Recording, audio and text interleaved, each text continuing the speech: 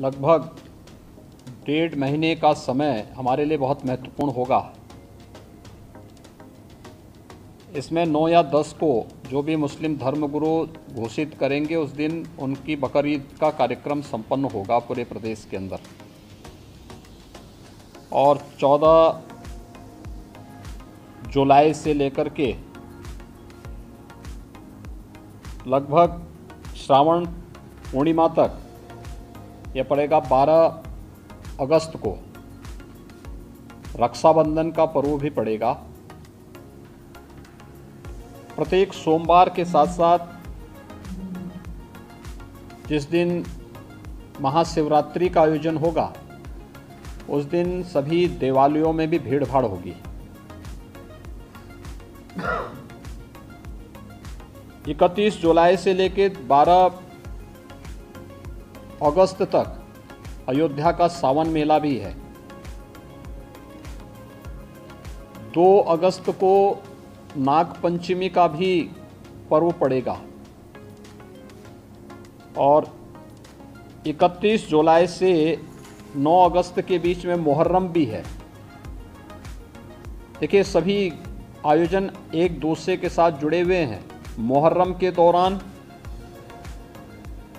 तृतीय सोमवार पहली अगस्त को पड़ेगा। चतुर्थ सोमवार 8 अगस्त को पड़ेगा। रक्षाबंधन का आयोजन भी इस दौरान है। और श्रावण पूर्णिमा 12 अगस्त को पड़ेगी। ये नागपंचमी, रक्षाबंधन और जो दो, यानी तीन सोमवार भी, दो सोमवार भी इस दौरान पड़ेंगे। इस दिश से इसकी कार्य योजना बनाने के लिए जो हम लोगों ने धर्मगुरुओं के साथ संवाद बनाने की कार्रवाई को विभिन्न अवसरों पर अपनाया है, उसको हम पहले से ही तैयारी कर लें और बहुत सारे जनपदों ने इस पर अपना कार्य प्रारंभ भी किया है। और मुझे लगता है कि हमें इसको एक निरंतरता देनी चाहिए। संवाद बनाने में कोई भी, किसी भी प्रकार की कोई समस्या नहीं होनी चाहिए। ये निचले स्तर पर कहीं पर किल है या ज्वाइंट मजिस्ट्रेट हैं, उनके माध्यम से भी या जो उप जिलाधिकारीगण हैं, ये लोग भी संवाद बनाएँ अच्छा होगा। अलग अलग धर्मगुरुओं के साथ, समाज के मानिंदों के साथ में, जिनकी समाज में अपनी एक पकड़ होती है, जनप्रतिनिधियों के साथ संवाद बनाना, उनकी गतिविधियों पर भी निगाह रखना, नज़र रखना। ऐसे ही जो एडिशनल एसपी और एडीएम स्तर के अधिकारी हैं, वे लोग भी अपने इस कार्यक्रम को करें और जनपद स्तर पर जिलाधिकारी और पुलिस अधीक्षकों को भी संवाद के इस कार्यक्रम को आगे बढ़ाना होगा। यह सुनिश्चित करें क्योंकि ये सारे कार्यक्रम पड़ेंगे और 15 अगस्त को स्वतंत्रता दिवस का कार्यक्रम भी होगा, जो बात क्योंकि अमृत महोत्सव है आज़ादी का। इस अवसर पर कुछ विशेष आयोजन होंगे। उन आयोजनों के साथ पूरा प्रदेश जुड़ेगा। तो जितने भी ऐसे तत्व हैं जो एंटी सोशल हैं एंटी नेशनल हैं, वे कुछ ना कुछ गड़बड़ी करने का प्रयास करेंगे, माहौल को ख़राब करने का प्रयास करेंगे, इसलिए सतर्कता और सावधानी। इसके लिए संवाद हमारा महत्वपूर्ण है और संवाद के माध्यम से इसके समाधान का रास्ता निकालना, इसकी समीक्षा रेंज स्तर पर कमिश्नरी स्तर पर जौन स्तर पर निरंतर होती रहे। पर्व और त्यौहार कोई भी हो, शासन की ज़िम्मेदारी बनती है वहाँ पर सुविधा देना और सुरक्षा का बेहतर माहौल देना। कोई भी पर्व और त्यौहार हो, परंपरागत तरीके से हो। परंपरा से हटकर कुछ भी हम न होने दें। आयोजकों के नाम नोट करें। आयोजकों से हम लोग एप्लीकेशन ज़रूर लें और उनसे सुनिश्चित ज़रूर कराएँ हमने गृह विभाग को भी मैंने एक परफॉर्मा उपलब्ध करवाया था कि उसे हर एक जनपद में उपलब्ध कराएँ और उसी के माध्यम से अनुमति भी सुनिश्चित कराएँ। शर्तें जोड़िए उसमें कि वह कहीं भी शांति को भंग करने वाली व्यवस्था कोई भी ऐसा बयान नहीं देंगे, कोई भी ऐसा कार्य नहीं करेंगे जिससे शांति व्यवस्था भंग होती हो। या किसी जाति, मत, मज़हब, वर्ग, संप्रदाय या किसी भी अन्य उसकी भावनाएँ आहत होती हैं, कोई भी इस प्रकार की बयानबाजी न हो। इस पर ध्यान देने के लिए हमें जहाँ व्यवस्था बनानी पड़ेगी, वहीं साथ ही साथ हम इस बात को सुनिश्चित करेंगे। बकरीद के लिए मुस्लिम धर्म गुरुओं के साथ और इस आयोजन के साथ जुड़े हुए जितने भी लोग होंगे, उन सभी के साथ हमें संवाद बनाना होगा। कावड़ यात्रा के लिए भी हमें कावड़ संघों के साथ, कावड़ संघ हैं बने हुए हर एक जगह, उनसे भी संवाद बनाना पड़ेगा। अगर हम उसी स्तर पर संवाद बनाएँगे तो बाद में जब ये भीड़ इकट्ठी होती है तो उस समय समस्या नहीं खड़ी होती है। तब ये कार्यक्रम एक रूटीन का हिस्सा बन जाता है, फिर उसमें कोई समस्या पैदा नहीं होती है। इसलिए उन सभी चीज़ों को हमें पहले से ही एक संवाद बनाकर करना होगा होगा मुहर्रम के अवसर पर भी मुहर्रम से जुड़े हुए, जो अलग अलग ताज़िया लेकर के जाते हैं, उनके साथ पहले से संवाद होना चाहिए।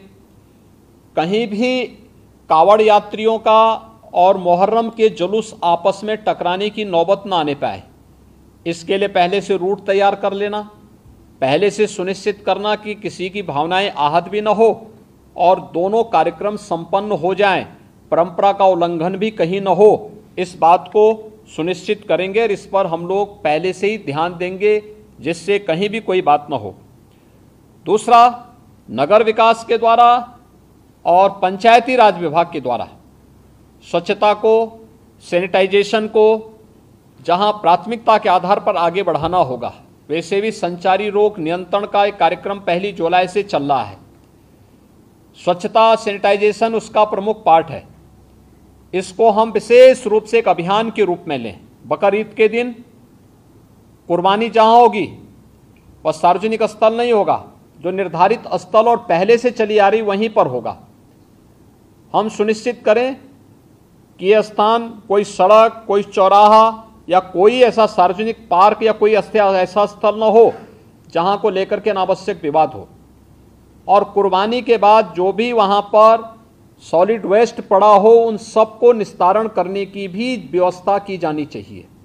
चाहे वह आयोजक करें, चाहे वह नगर निकाय या पंचायती राज विभाग से जुड़े हुए लोग करें इस व्यवस्था को पहले से सुनिश्चित होना चाहिए कि कुर्बानी के तत्काल बाद उसकी सफ़ाई की व्यवस्था भी हो जाए, जिससे गंदगी न होने पाए।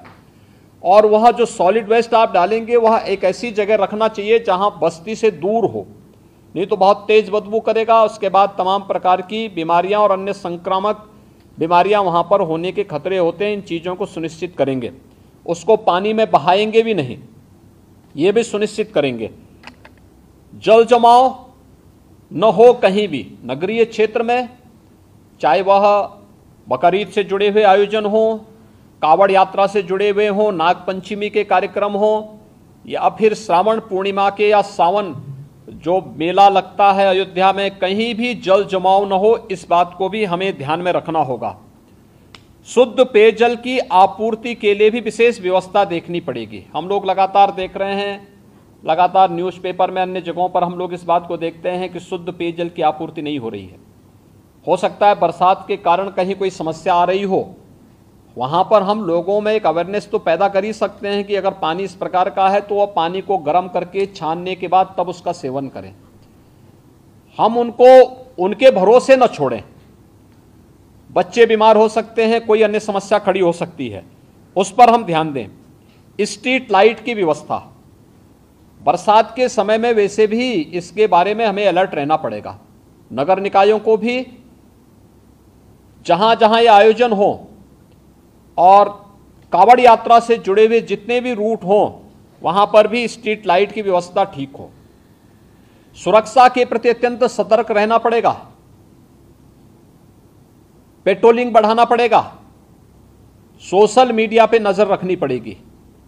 और कोई भी व्यक्ति भड़काऊ बयान देता है या कोई भी ऐसी बयानबाजी करता है जो सुरक्षा के लिए या किसी समुदाय की भावनाओं को आहत करके उसे भड़काने की कार्रवाई कर रहा है तो हमें कार्रवाई करने से हिचकना नहीं चाहिए और बहुत सख्त कार्रवाई उन स्थितियों में हमें करनी चाहिए। दूसरा, विद्युत विभाग से जुड़ा हुआ है जिसमें विद्युत की आपूर्ति अनवरत बने। जर्जर पोल और तार को पहले से हम रिप्लेस कर लें। उसकी, उसका मरम्मत आदि का काम कर लें। जो भी हमें करना हो, उसको हम कर लें। सड़कों की मरम्मत सुनिश्चित कर लें। ये ग्रामीण हो, शहरी क्षेत्र की सड़कें हो, जिन सभी संबंधित विभागों से हो, जिलाधिकारी और मंडलायुक्तगण, इन सब की समीक्षा जनपद स्तर पर सुनिश्चित कर लें कि कहीं भी और जवाबदेही के साथ करवाएँ। जल जमाव न हो, गंदगी न हो सड़कों में गड्ढे न हो, इन बातों को हम सुनिश्चित करें। मीट मछली कावड़ यात्रा की रूट पर न हो अच्छा होगा। अनावश्यक उसके कारण उत्तेजना पैदा हो सकती है, या उस रूट पर कोई ऐसा कार्य न होने पाए, क्योंकि कभी कभी लोग शरारतन कर देते हैं कि उस रूट पर ही किसी प्रतिबंधित पशु को मार करके फेंक देते हैं, जिससे वे लोग उत्तेजित हो सकें। क्योंकि जो शरारती तत्व हैं, वो हर प्रकार का संभव प्रयास करेंगे। हमें उसके प्रति सतर्कता बरतनी चाहिए। ऐसे ही वह जो कार्यक्रम जो भी हो, परंपरागत तरीके से हो, कुर्बानी प्रतिबंधित स्थलों पर न हो, या कावड़ यात्रा भी परंपरागत रूट से ही जाए, परंपरागत रूट से हटकर जाने की परमिशन हम कतई न दें, और पहले से हम उन सबके साथ संवाद बना लें। कि ज़बरदस्ती जो रूट नहीं है, उस रूट पर जाने का कोई भी प्रयास न करें। इन बातों को हम सुनिश्चित करेंगे, हर जनपद में और जहाँ पर इन सभी कार्यक्रमों के लिए हो, विशेष कंट्रोल रूम की स्थापना करके निश्चित उस, उसकी वहाँ पर नियमित समीक्षा भी की जानी चाहिए। पीस कमेटी की बैठक के बारे में मैंने पहले कहा, यातायात प्रबंधन के बारे में भी। जहाँ आवश्यक हो, वहाँ पर हमें लोकल स्तर पर उसकी व्यवस्था सुनिश्चित करनी चाहिए। अंतर जनपदीय समन्वय के साथ ही अंतर्राज्यीय समन्वय को भी हम प्राथमिकता दें। खासतौर पर पश्चिमी उत्तर प्रदेश में, गाजियाबाद से हरिद्वार के बीच में जो कावड़ यात्रा चलेगी, इस कावड़ यात्रा के रूट में अगर आप देखेंगे तो दिल्ली से, पंजाब से, हरियाणा से, राजस्थान से और भी अन्य स्थलों से काफ़ी बड़ी संख्या में कावड़ यात्री आते हैं। अच्छा होगा उन राज्यों के साथ हम पहले से संवाद बना लें। संवाद बना करके उनको राज्य सरकार के द्वारा क्या क्या नियम बनाए गए हैं, उसके पालन के बारे में उनको बता दें। दूसरा जो मैंने पहले भी कहा स्वास्थ्य विभाग में कि जो लोग कोविड से इन्फेक्ट हुए थे सेकेंड वेव के दौरान, वह लोग बहुत लंबा पैदल करने का, चलने का प्रयास न करें। अनावश्यक रूप से उनके जीवन के साथ खिलवाड़ हो जाएगा। जा रहे हैं तो पानी की व्यवस्था सुनिश्चित करें। जगह जगह मेडिकल कैंप भी रहे और किसी भी प्रकार की कोई लापरवाही उन उन स्थलों पर न हो इन, इन बातों को हम ध्यान में रखेंगे। प्लास्टिक फ्री सभी आयोजन हो। किसी भी आयोजन में जब प्लास्टिक को हम लोग 19 में प्रतिबंधित कर चुके हैं और इधर भारत सरकार ने पहली जुलाई से प्लास्टिक पूरी तरह प्रतिबंधित किया है। तो हम लोग प्लास्टिक फ्री, पूरी व्यवस्था को बनाने का प्रयास करें, स्वच्छता का विशेष ध्यान दें। कावड़ी महिला और पुरुषों के लिए अलग अलग टॉयलेट हों, पर्याप्त मात्रा में जल की आपूर्ति वहाँ पर होती रहे, ये भी हम इसको देखें, और सतर्कता के लिए सेक्टर स्कीम अभी से हम लागू कर सकेंगे। तो ये अच्छा होगा। इन सभी कार्यक्रमों को व्यवस्थित तरीके से अभी से लेकर के और स्वतंत्रता दिवस के कार्यक्रम के लिए जो भी आयोजन हर जनपद के लिए, हर विद्यालय के लिए, हर ग्राम पंचायत के लिए, हमारा प्रयास होना चाहिए कि ग्राम पंचायत के सचिवालय में भी स्वतंत्रता दिवस के दिन भारत का राष्ट्र झंडा फहराया जाए। नगर निकायों में होना चाहिए। हर नगर निकाय के अंदर अच्छा आयोजन होना चाहिए, सांस्कृतिक कार्यक्रम होना चाहिए, राष्ट्रभक्ति के गीतों को बुलाए का वहाँ पर कार्यक्रम हो, स्वतंत्रता संग्राम सेनानियों को। दूसरा, शहीद परिवारों के लोगों को रिटायर्ड जो आर्मी से जुड़े हुए जितने भी रिटायर्ड पर्सन है, इन सबको बुला करके उनका सम्मान हो, शहीद परिवारों को, शहीद परिवार सेना से जुड़े हो सकते हैं, पैरामिलिट्री से जुड़े हो सकते हैं, पुलिस से जुड़े हो सकते हैं। आखिर उन्होंने भी तो सुरक्षा में योगदान दिया है। उन लोगों के सम्मान का कार्यक्रम होना चाहिए। हर एक जगह होना चाहिए। स्थानीय स्तर पर हो सकता आज़ादी की लड़ाई के दौरान बहुत सारे ऐसे योद्धा रहे होंगे जो इतिहास के पन्नों में गुम हो गए होंगे। अज्ञात होंगे, लेकिन लोकल स्तर पर उनका गायन होता है। लोकल स्तर पर लोग, लोक कथा के माध्यम से, लोक परंपरा के माध्यम से उनका श्रवण करते हैं। अच्छा होगा, उन ग्राम पंचायतों में उनकी तस्वीर है तो उस तस्वीर के साथ हम वहाँ पे उन्हें इस अवसर पर श्रद्धांजलि देने का कार्य करें, उन्हें नमन करने का कार्य करें। तिरंगा हो, राष्ट्रगान, उन सभी गाँवों में प्रयास हो कि ग्राम पंचायतें राष्ट्रगान उस अवसर पर, वहाँ पर उसे आयोजित करें। जिन गाँवों में अमृत सरोवर बन चुके हैं अमृत सरोवर के तट पर ही यह आयोजन हो सके तो अच्छा होगा। उसकी फोटोग्राफ भी कलेक्ट करें ग्राम्य विकास विभाग कि ग्राम पंचायतों के साथ संवाद बना करके ग्राम विकास और पंचायती राज विभाग वहाँ पर इस कार्यक्रम को आयोजित करें।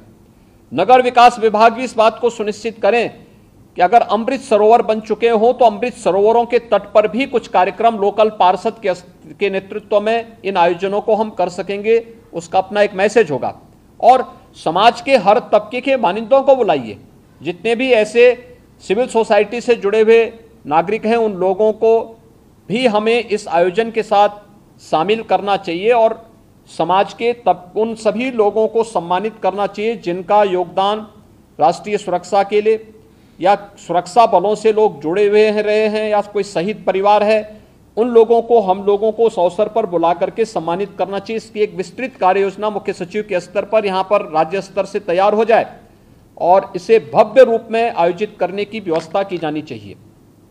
अच्छा होगा कि बेसिक शिक्षा परिषद और माध्यमिक शिक्षा परिषद के बच्चों को प्रभात फेरी निकाली जाए उस दौरान। स्वच्छता को लेकर के, जल संरक्षण को लेकर के, वृक्षारोपण को लेकर के शहीदों के चित्रों को लेकर के प्रभात फेरी निकले और फिर वहाँ पर उस आयोजन को विद्यालय परिसर में सांस्कृतिक कार्यक्रम के साथ साथ राष्ट्रभक्ति के गीतों के साथ हम इन कार्यक्रमों को आगे बढ़ा सकें। आखिर देश की आज़ादी के अमृत महोत्सव कार्यक्रम का कोई मतलब तो होना चाहिए? और उसे हम कैसे आगे बढ़ा सकते हैं? इस दिश से हमें इन कार्यक्रमों के साथ जुड़ने की आवश्यकता है। आयोजन जो 10 से प्रारंभ होंगे सेक्टर प्रणाली हम सख्ती के साथ लागू करें। 9 या 10 जुलाई से प्रारंभ होने हैं और 15 अगस्त तक चलेंगे। हम इन सभी कार्यक्रमों में पूरी सतर्कता बरतें। इस दौरान हमारा प्रयास होना चाहिए कि सभी सीनियर अधिकारी एक एक गतिविधि की मॉनिटरिंग करें। पेट्रोलिंग को बढ़ाएँ।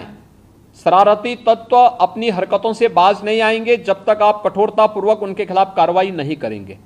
और हमें कार्रवाई करने में किसी भी शरारती तत्व के खिलाफ एंटी सोशल और एंटी नेशनल एलिमेंट कोई भी हो, उसके खिलाफ कार्रवाई करने में कोई हिचक नहीं होनी चाहिए। किसी शरीफ व्यक्ति को अनावश्यक रूप से कोई भी व्यक्ति प्रताड़ित न करने पाए, इन चीज़ों को भी हमें ध्यान में रखना होगा। लेकिन जो लोग सुरक्षा के लिए खतरा बने हुए हैं, उनके साथ किसी प्रकार का कोई रियायत बरतने की आवश्यकता भी नहीं है।